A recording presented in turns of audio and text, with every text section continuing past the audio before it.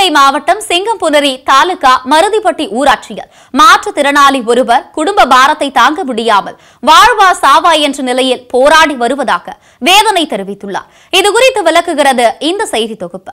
சிவகங்கை மாவட்டம் சிங்கம்புனரி தாலுகா மருதிப்பட்டி ஊராட்சியில் உள்ள அரளிப்பட்டி கிராமத்தில் ஏழு குழந்தைகளுடன் குடும்ப சுமையை எதிர்கொள்ள முடியாமல் நோயுடன் தவிர்த்து வருபவர் சுரேஷ். இவர் பிறப்பால் மாற்றுத்திறனாளி அல்ல. மாறாக மின்வாரிய துறையில் திருப்பத்தூர் மின் பகிர்மான நிலையத்தில் ஒப்பந்த தொழிலாளியாக பணியாற்றும் போது கடந்த மூன்று ஆண்டுகளுக்கு முன்பு எதிர்பாராத விதமாக ஏற்பட்ட விபத்தில் மாற்றுத்திறனாளியாக மாறியது சுரேஷின் வாழ்க்கை. தற்போது சுரேஷின் இடுப்புக்கு கீழே எந்த ஒரு அசைவும் இல்லாத நிலையில் நான்கு குழந்தைகளுடன் கஷ்டத்தில் இருந்து வருவதாகவும் கொரோனாவின் கோரத்தா பலியான என் மனைவியின் சகோதரி. சகோதரியின் கணவர் ஆகிய இருவரையும் இழந்து தவிக்கும் மூன்று குழந்தைகளையும் சேர்த்து மொத்தமாக ஏழு குழந்தைகளையும் மொத்தம் பத்து பேர் சுமையை தாங்க முடியாமல் ஒவ்வொரு நாளும் வாழ்க்கையோடு போராடி கொண்டு வருவதாக கூறுகிறார். மேலும் அரசு வழங்கும் மாற்றுத்திறனாளிகளுக்கான மாதாந்திர ஊக்கத்தொகை இன்றளவும் தனக்கு கிடைக்கவில்லை என்றும் தன் மனைவி நூறு நாள் வேலை திட்டத்தின் கீழ் வேலைக்கு சென்று அதன் மூலம் பெறப்படும் ஊதியத்தை கொண்டுதான் எங்கள் வாழ்க்கை பிழைப்பு ஓடுவதாக கண்ணீரோடு தெரிவிக்கிறார் மாற்றுத்திறனாளியான சுரேஷ். மூணு வருஷத்துக்கு முன்னாடி அடிபட்டு தண்டுவடத்தில் அடிபட்டு இடுப்புக்குங்கிட்டு எந்த செயல்பாடுலாம் போச்சு. எனக்கு மூணு பொண்ணு ஒரு பையன் இருக்கேன். இந்த கொரோனால என் குழந்தையாவும் என் குழந்தையா வீட்டுக்காரும் ச- ரெண்டு பேரும் கொரோனால மூணு மாதத்துக்கு முன்னாடி இறந்துட்டாங்க.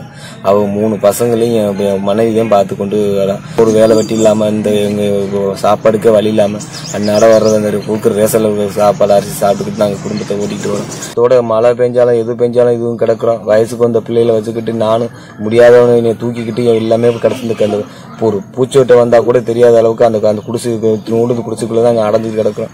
ரொம்ப மன வருத்தம் இருக்கும் ரொம்ப கஷ்டப்பட்டு தான் எதாவது பண்ணிக்கிது இந்த கவர்மெண்ட் பார்த்து எனக்கு ஏதாவது ஒரு உதவி பண்ணி எங்களுக்கு வாழ்வு நான் மாற்றுத்திறனாளி நான் இருக்கிறது எனக்கு ஒரு உதவி ஒரு வண்டியை ஒரு தொழிலை ஏதோ பண்ணி கொடுத்தா என் குடும்பத்தில் எங்கள் பிள்ளை குட்டியில் எல்லாமே நல்லா இருப்போம். மேலும் தங்கள் வறுமையை பற்றி பலமுறை மாவட்ட ஆட்சியரிடமும் வட்டாட்சியரிடமும் கோரிக்கை விடுத்தோம்.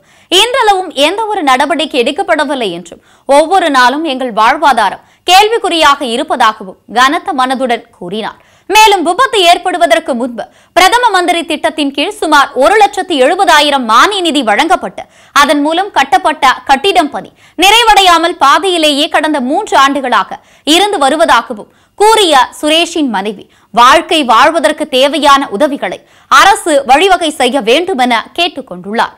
எனக்கு மூணு பொண்ணு ஒரு பையன். நான் நூறு நாள் வேலை பார்த்து தான் நான் பிள்ளைங்களை வளர்ப்பேன் எனக்கு மூணு பொண்ணு ஒரு பையன்.